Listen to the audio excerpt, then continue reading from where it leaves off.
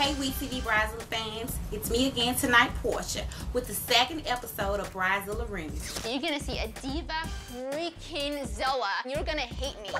Remy, you are literally all over the place. No, I'm not nice. I don't do nice. Move, move, out of my way, out of my way. Cameras right now. I just don't know if you're the bride or if Rob is the bride. He's talking about how he's gonna look better than you and it's his day and he's spending all this money. My job is to look pretty and say I do. No, that's my job. I mean, he's constantly putting makeup on. But he is such a freaking diva. I'm trying to figure out is he the bride? It's my wedding. Then you want to take your friend to the spray tanning place. I mean, she's white. She's not black. She's white.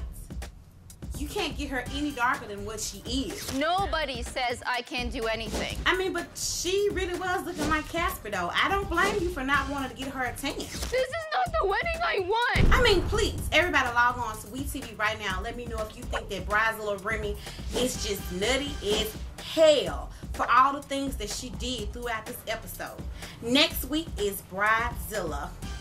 Not gonna tell you, but she's cuckoo for Cocoa Puffs. Please stay tuned. I'm gonna lose that. I'm gonna lose that. I'm gonna lose that.